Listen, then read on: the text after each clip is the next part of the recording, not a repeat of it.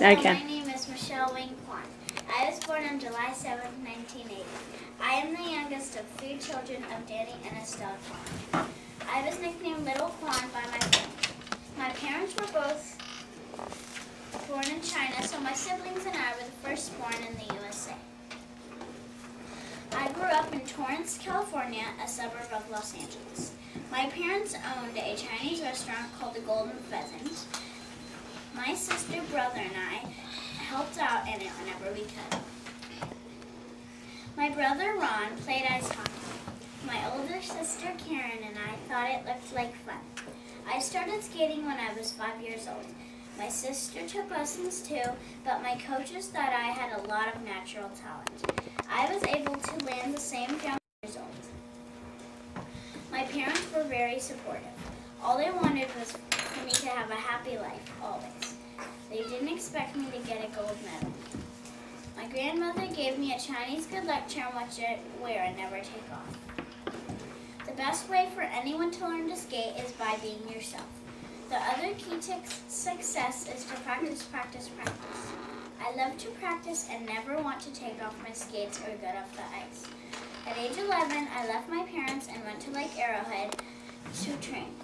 My dad would drive two hours each evening, way, just to watch my sister Karen and I practice.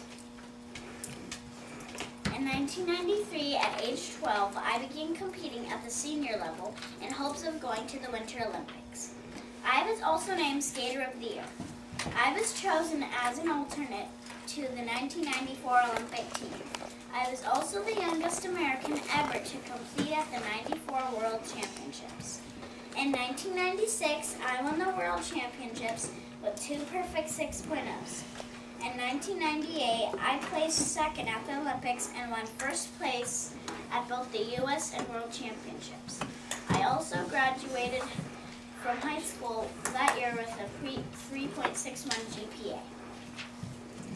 While skating is an important part of my life, my education is just as important. A lot of people said, you have enough money so you don't have to go to college. I said no. My education is so much more important. In April of 99, I began my college classes at UCLA. Throughout my career, I have been a spokesperson for the Children's Miracle Network and various other pediatric charities. I have always believed that through hard work and commitment, anything is possible. At the 2006 Olympics, I had to withdraw because of an injury. After 42 perfect 6.0s, the most of any single skater, five world championships, and nine U.S. championships, I decided to retire after after over 15 years of competing. I think I deserved it. I spend my time off at my home in Manhattan Beach, California. I admire Michelle because she is very talented and very athletic. I also admire her because even when she would fall on the ice, she would get back up, laugh, and just keep on skating.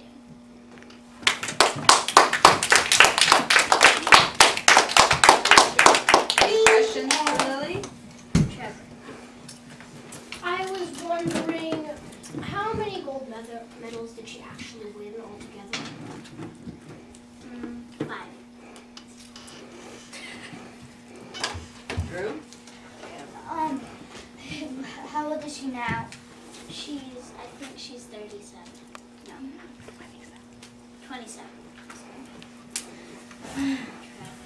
I have two questions. How many bronze medals did she win, and how many silver medals did she win? She doesn't know. The end.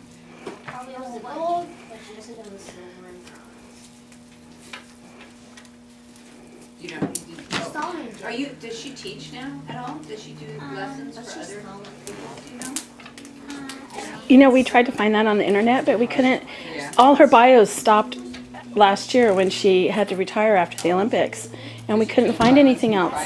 So I think she just must be doing it private or just really did retire because we couldn't find anything else out her injury was to her hip and her groin. inside of her leg. She um. She pulled a muscle really bad and yeah, she couldn't pulled skate. The muscle really bad, and then the, and she told the judges if she wasn't feeling 100% good, then she had to withdraw. And she she tried to do a practice, and when she did her practice, she couldn't do it, so she had to withdraw. Yeah, I remember that. That's pretty hard. Great, good